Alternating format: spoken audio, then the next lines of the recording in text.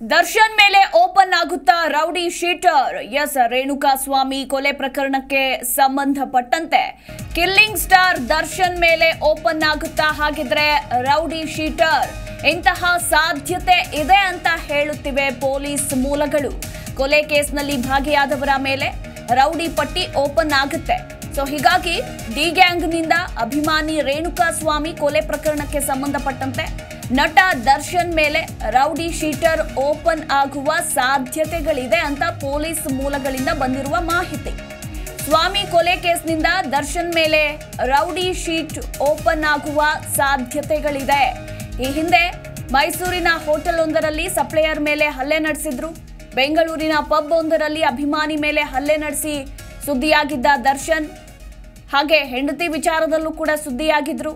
ಹೀಗೆ ಪದೇ ಪದೇ ಕಾನೂನು ಬಾಹಿರ ಕೃತ್ಯಗಳಲ್ಲಿ ಚಕ್ರವರ್ತಿ, ಡಿ ಬಾಸ್, ದರ್ಶನ್ ಭಾಗಿಯಾಗ್ತಾ ಇದ್ದಾರೆ.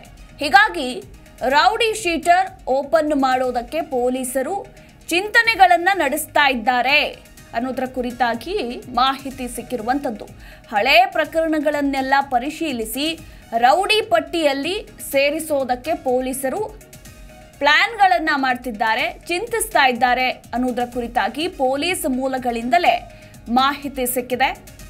ಸೊ, ಹೀಗಾಗಿ ಸ್ವಾಮಿ ಕೊಲೆ ಕೇಸ್ನಿಂದ ನಟ ದರ್ಶನ್ ಮೇಲೆ ರೌಡಿ ಶೀಟರ್ ಓಪನ್ ಆಗುವ ಎಲ್ಲ ಸಾಧ್ಯತೆಗಳಿವೆ.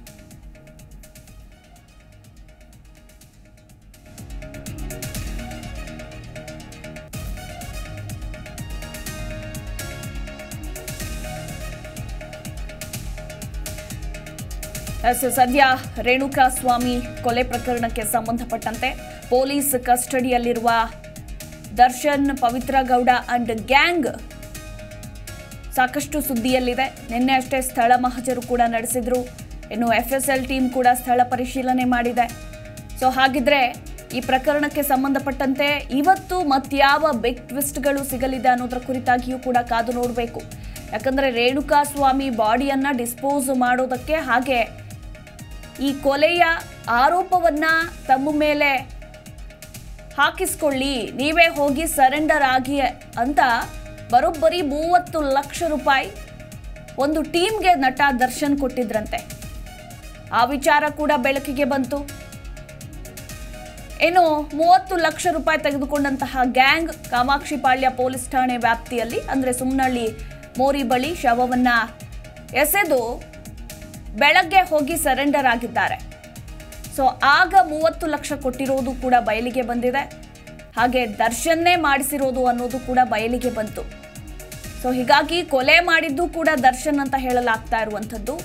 ಎಲ್ಲ ಪ್ರಕರಣಗಳ ಮೇಲೆ ರೌಡಿ ಶೀಟರ್ ಈ ಒಂದು ಪ್ರಕರಣ ಹಾಗೆ ಹಿಂದೆ ನಡೆದಿರುವಂತಹ ಪ್ರಕರಣಗಳನ್ನೆಲ್ಲ ಓಪನ್ ಮಾಡಿ ಈಗ ನಟ ದರ್ಶನ್ ಮೇಲೆ ರೌಡಿ ಶೀಟ್ ಆರಂಭ ಆಗುವ ಸಾಧ್ಯತೆ ಇದೆ.